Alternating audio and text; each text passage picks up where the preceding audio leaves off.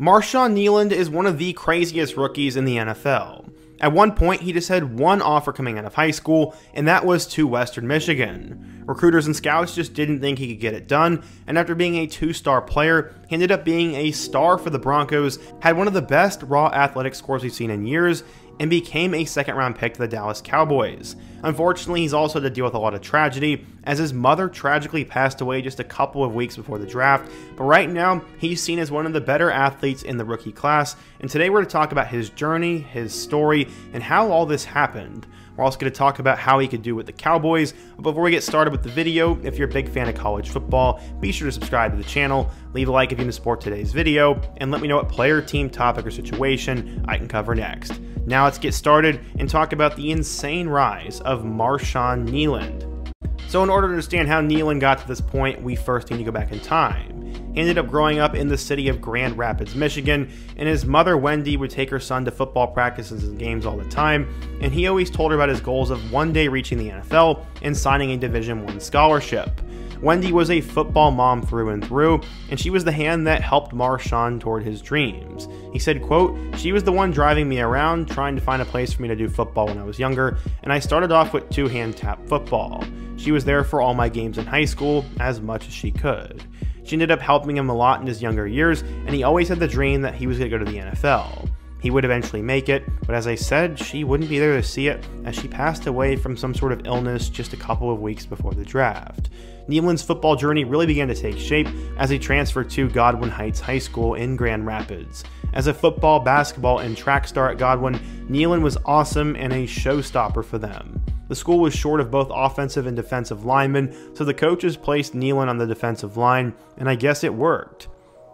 Flash forward to later on in his career, he became a force to be reckoned with as he played both linebacker and tight end, and also played on the offensive line a little bit for the Wolverines. His coach said, quote, he's pretty much dominant on both sides of the ball. He's really dominant on the defensive side, and he's a run stopper, and he's just dominant off the edge as a pass rusher. He ended up becoming an all conference player as a junior and came back even better as a senior. He would eventually record double digit tackles in each of his first five games, including three sacks in one performance. His strength made it difficult for offensive linemen to block him, and even with double teams, teams just could not protect that side of the ball, and it was a struggle for them in the passing game. He was just that dominant. As a tight end, he also provided the Wolverines with a lift, as he was both a strong blocker and a sure handed catcher. But despite his dominance, really only one FBS school wanted him, and that was Western Michigan. There's one story in particular that was pretty cool, as it had nothing to do with football. This in fact happened at the breakfast table when Kneeland was at Western Michigan for his visit, and this apparently even grabbed the attention of university president Edward Montgomery. During his official visit, apparently Kneeland could not eat enough pancakes and had seven different plates. Whoever was serving the actual breakfast offered the president an extra plate, and after he didn't want it, Kneeland raised his hand and ended up getting that plate. It might seem silly, but Kneeland's appetite helped him earn a scholarship to Western Michigan, and he would then sign his national letter of intent to join the Broncos program. Part of that was because he transitioned himself from 195 pounds to then a 6'4", 245 pound lineman. Head coach Tim Lester said, quote, We liked him when he was at 195 pounds, and he was an athletic kid, but it was a question of if he could get big enough. He ended up going under the radar because he didn't have a great junior season, but Lester said, quote, One person we kept hearing about was Marshawn Kneeland. Every school I went into, they asked, Have you been to Godwin Heights yet? Yep, he was a pretty big deal.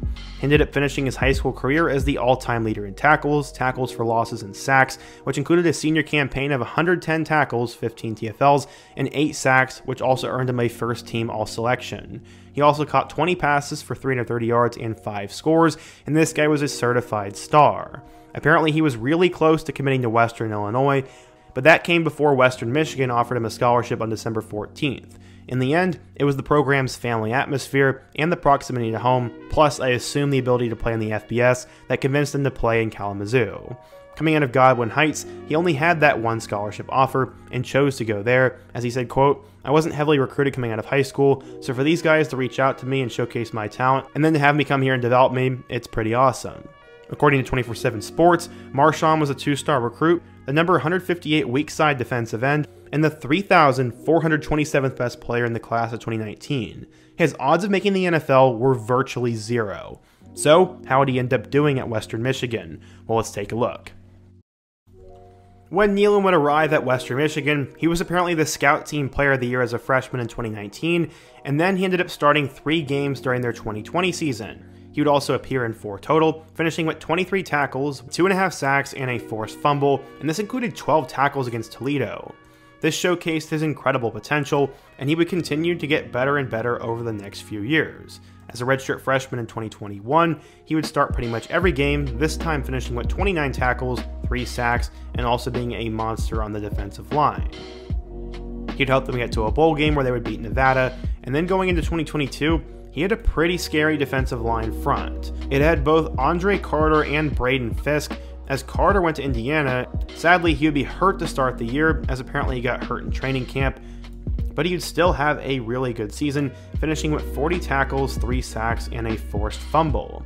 He also batted 3 more passes and had 5 quarterback hurries, and PFF and all those numerical sites really liked him. Because of that, he was seen as a four star transfer and would decide to make some crazy decisions and go into the portal. He heard from schools all around the country and eventually decided to commit to Coach Prime in Colorado. He visited Boulder and fell in love with it, but after meeting with new Western Michigan head coach Lance Taylor, Kneeland decided to stay. He also requested that defensive coordinator Lou Esposito came back to the program, and apparently this was enough for Kneeland to change his mind, and he stayed in Kalamazoo for his last college football season. Without Fiske and Carter, he ended up becoming one of the better defensive linemen in the country, finishing with 57 tackles, 4.5 sacks, and 2 forced fumbles. He ended up becoming a second team All MAC selection, and while Western Michigan wasn't very good, he definitely was. There was one game in particular which Dane Brugler said, quote, was the best single tape of any pass rusher in 2023. In a 45 21 win, he ended up having 11 tackles, 3 sacks, 4 TFLs, a forced fumble that was recovered for a touchdown, and then was responsible for 2 safeties. Pretty incredible if you ask me. In total, in five years with the Broncos, Kneeland played in 37 games, amassing 13 sacks and 28 tackles for loss. Now, when you walk into the Western Michigan Football Center, you're immediately greeted by all time Bronco greats. In the last few years, there have been guys such as D. Eskridge, Corey Davis, and Skyy Moore, and it looks like the next great one is Marshawn Kneeland. He said, quote, It's great to be able to be here and put on for these guys. Now I'm about to go to the NFL and have my jersey hang on one of these showcases, and it doesn't get much better than that. At first, according to NFL Mock Database, he was seen as a third round pick, but by the end of it, he was a projected second round pick and the 58th best prospect, who had a 7% chance of going in the first round.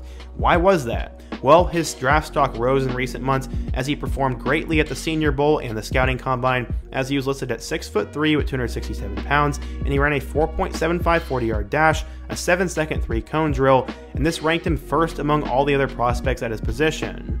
Kneeland said, quote, The effort, the versatility, the physicality, I have all that. Let's just say that over 50 scouts and coaches from 23 NFL teams didn't make the trip to watch the other guys on Western Michigan's team. They were all there to watch Kneeland.